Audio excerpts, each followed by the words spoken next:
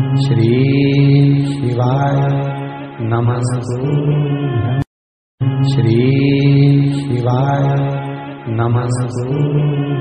तैतीस करोड़ देवी देवता में सबसे सुंदर जोड़ी थी शंकर और पार्वती की। सही है कि गलत है? कभी नहीं झगड़ते थे।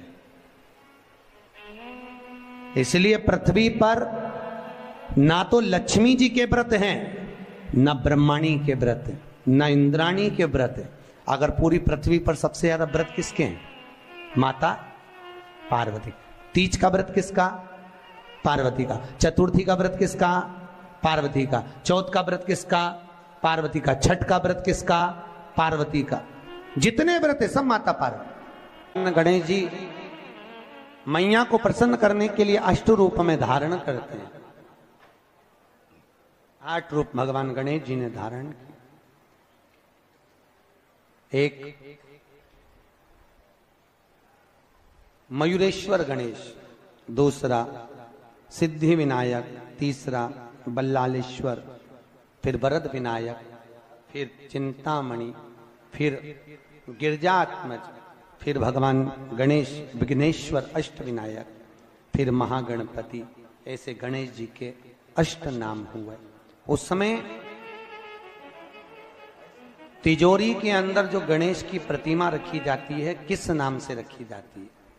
तो तिजोरी में हम जो गणेश की प्रतिमा रखते हैं, वो वरद विनायक के नाम से रखते हैं। कौन सा गणेश? वरद। वरद विनायक के नाम से तिजोरी में गणेश रखते हैं। और वरद विनायक के नाम से गणेश जी तिजोरी में रखाते हैं। आपको कथा में कहा था, घर में सीधी सुंड का गणेश और व्यापार, व्यवसाय, ऑफ़िस में उल्टी सुंड का गणेश होना चाहिए। वरद विनायक को तिजोरी में, जब मकान का गृह प्रवेश होता है तो गणेश जी की पूजन जो दरवाजे पर करी जाती है, उसे सिद्धि विनायक गणेश कहते हैं। कौन सा गणेश? सिद्धि विनायक। जब हम घर में शुभ कार्य हो बंदर बाल लगाएँ, कोई दरवाजे पर शुभ लाभ लगाएँ या स्वस्तिक बनाए या माताएँ दरवाजे पर रंगोली डाले तो उसी समय पर सिद्धि विनायक के नाम से रंगोली डालना चाहिए। तो घर में लक्ष्मी बढ़ती है, सिद्धता बढ़ती है। याद रखिए, कभी भी गणेश जी को मिट्टी के गणेश जी लाते हो भादो महीने में? तो विसर्जन करो। तो विसर्जन के समय पर दो बिंदी, एक कंकु की, एक हल्दी की, दीवाल पर ज़रूर लगा देना चाहिए। क्यों? क्योंकि गणेश जी हमारे यहाँ आते हैं तो रिद्धि सिद्धि के साथ आते हैं। पर जब गणेश जी जाते हैं, अगर हम बिंदी नहीं लगाते हैं तो गणेश जी अपनी रिद्धि सिद्धि को साथ में लेकर चले जाते हैं। पति के साथ पत्नी वापिस चली जाती है।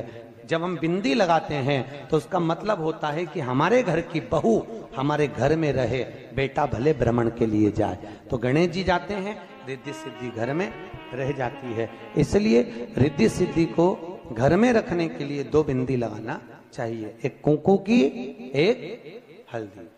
रिद्धि गणेश जी की प्रियता है दुर्वा क्या प्रियता है? दुर्वा कितनी दुर्वा गणेश जी को समर्पित करी जाती है मात्र पाँच। कितनी? आज के जमाने में लोग गट्ठा बनाकर चढ़ा दें, वो अपनी जगह पर पाँच दुर्वा पंचम इंद्रियों को वश में करने के लिए और भगवान के पाँच जो स्वरूप हैं, उनको अपने भीतर उतारने के लिए पंच दुर्वा और दुर्वा में भी तीन गांठ।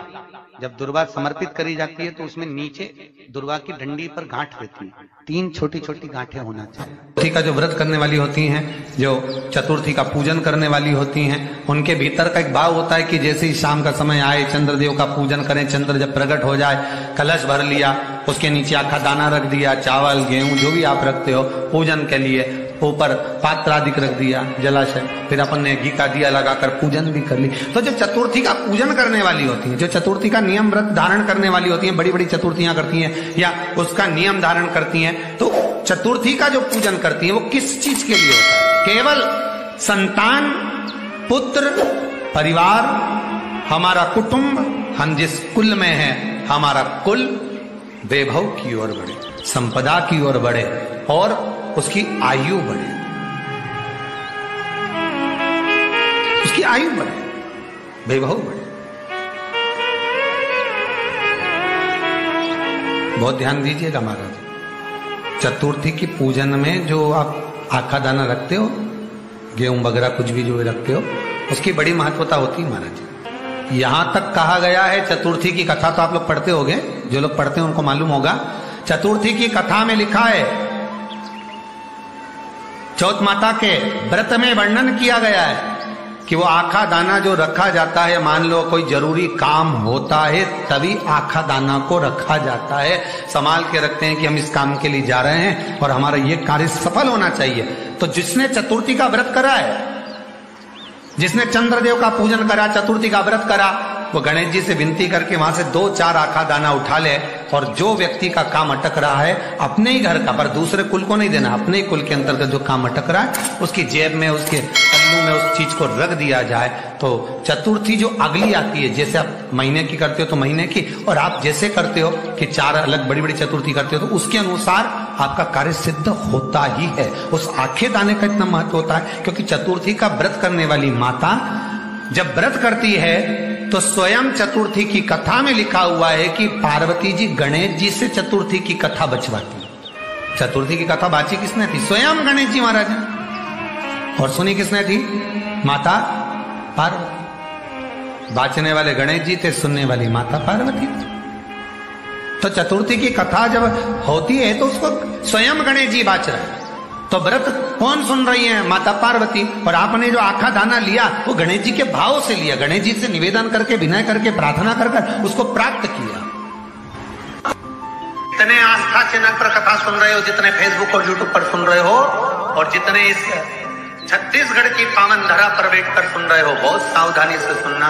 एक एक छोटा सा कपूर का टुकड़ा जब आरती में जलाया जाता है तो ये कपूर क्यों जलाते हैं? इस कपूर का महत्व क्या है? इस कपूर का कारण क्या है? ये कपूर है कौन जिसको हम आरती में जला क्या ज़रूरत इस कपूर को आरती में जलाने की? क्या ज़रूरत इसको यज्ञशाला में जलाने की? क्या ज़रूरत है इस कपूर को पूजन में जलाने की? स्वयं गुरु बाबा कहते हैं यदि कोई आरती में, पूजन में, घर में एक कपूर का टुकड़ा आरती के बाद में जब समर्पित करेगा तो उसको अश्वमेघ यज्ञ का पुण्य प्राप्त हो जाएगा। अश्वमेघ यज्ञ के पुण्य को पाने के लिए कपूर का टुकड़ा आज भी आरती में जलाया जाएगा। एक कपूर का टुकड़ा सुख का इसीलिए हमारे यहाँ शास्त्र कहता है महाराज, जब आपको घर में अगर ऐसा लगने लगे कि पंद्रह दिन से बहुत बेचैनी है, बहुत दुख तकलीफ़ लग रही है, कोई ना कोई बीमार पड़ रहा है, कुछ ना कुछ तकलीफें लग रही है तो एक पीपल का पत्ता ले लो, उसके ऊपर एक कपूर का टुकड़ा ले लो, सारे घर में घुमाकर उसको दरवाजे के बीच मध्य में जलाकर रख दीजिए। थोड़ी सी जैसे बीस से पच्चीस मिनट के अंदर मकान में एनर्जी वापिस आ उस भवन में एनर्जी वापिस हो बीस से पच्चीस मिनट के अंदर एनर्जी वापस।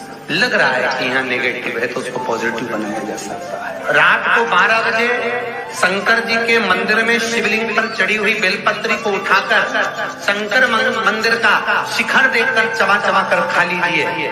आपके पाँव के घुटने बदलने की ज़रूरत नहीं पड़ेगी ऑपरेशन की ज़रूरत नहीं। अच्छा गणेश जी फिर ही कब रहते हैं? तो हमने कहा, अब ये तुम्हारे ऊपर हमको तो मालूम भी नहीं, हम तो अपॉइंटमेंट लिए भी नहीं उनसे। तो तुम्हें ज़्यादा स्मरण तो लगे, आप शंकर जी की कथा करते हो, आपको नहीं मालूम कि गणेश जी कब फ्री रहते हैं? हमने कहा, गणेश जी फ्री रहने का केवल एक समय होता है, एक टाइम होता है, एक पल होता है, एक घड़ी होती है कि गणेश जी महाराज हमारे घर में आ गए गणेश जी की सबसे पहली जो आरती हो, उस आरती के समय पर अगर धूप बत्ती जलाई जाए या गोबरी को जलाकर उसमें गूगल छोड़ी जाए और गूगल छोड़ने के बाद गणेश जी का नाम ध्रुम वर्ण कह दिया जाए तो गणेश जी को तुम्हारे घर की पूजा स्वीकार करना पड़ती है। बस वो समय हम जान हम तो बस उतना जानते हैं कि शिव महापुराण में लिखा, और मुदगल पुराण में लिखा, गणेश पुराण में लिखा, गणेश जी का एक नाम होता है ध्रुम वर्ण क्या नाम है? ध्रुम वर्ण गणेश जी का एक नाम होता है जब हम धूप जलाकर।